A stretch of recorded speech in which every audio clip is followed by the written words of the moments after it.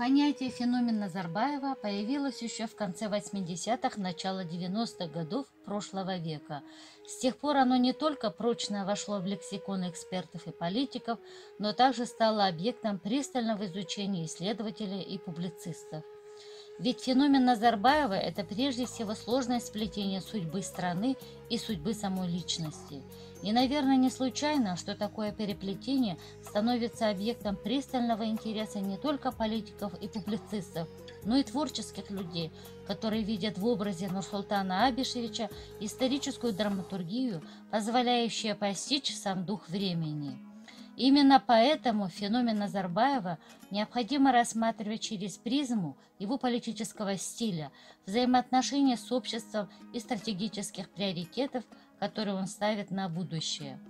О Нурсултане Назарбаеве сейчас много пишут, его личность подвергается оценке, его действия находятся в поле внимания мировой общественности, такова участь политика.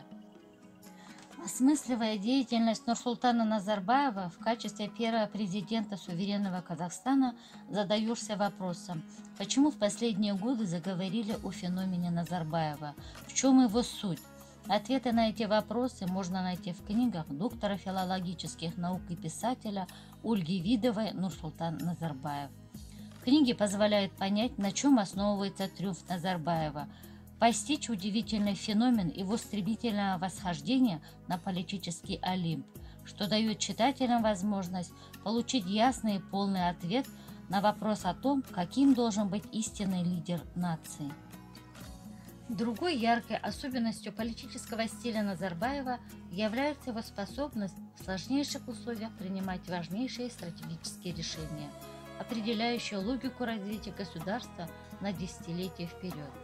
Об этом убедительно свидетельствуют такие важнейшие политические решения, как закрытие Семипалатинского полигона, отказ от ядерного арсенала. Книга Кименге под редакцией Жака раскрывает перед читателем феномен лидерства Назарбаева, антиядерные инициативы, отзывы, пожелания Объединенной Европы, в которых отражена роль Ельбасы как основателя новой модели казахстанского общества.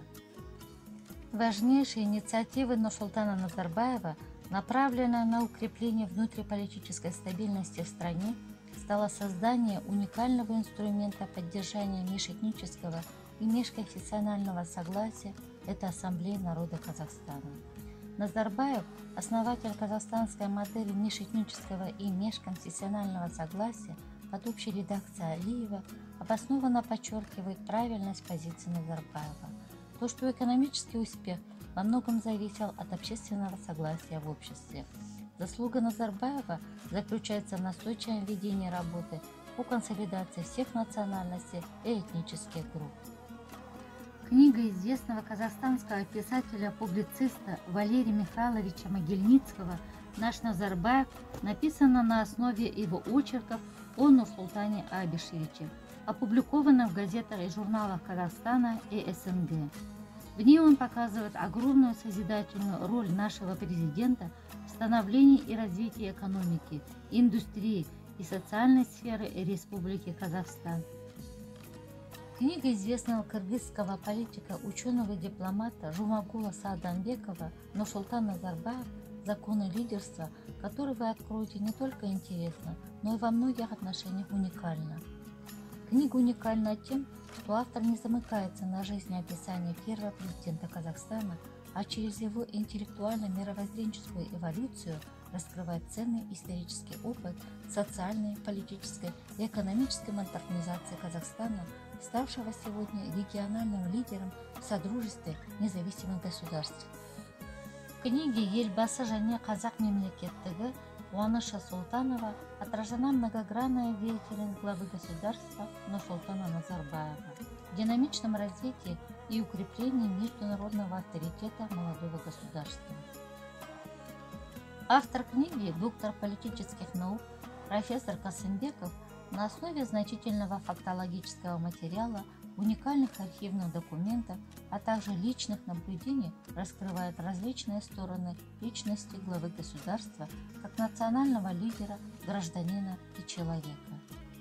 В книгу «21 век. Мировая элита о Назарбаеве» вошли четыре главы, которые содержат высказывания и мнения руководителей государств и политиков, религиозных деятелей, интеллектуалов и бизнесменов о президенте Республики Казахстан Нурсултане Назарбаеве, а также перечень его почетных званий.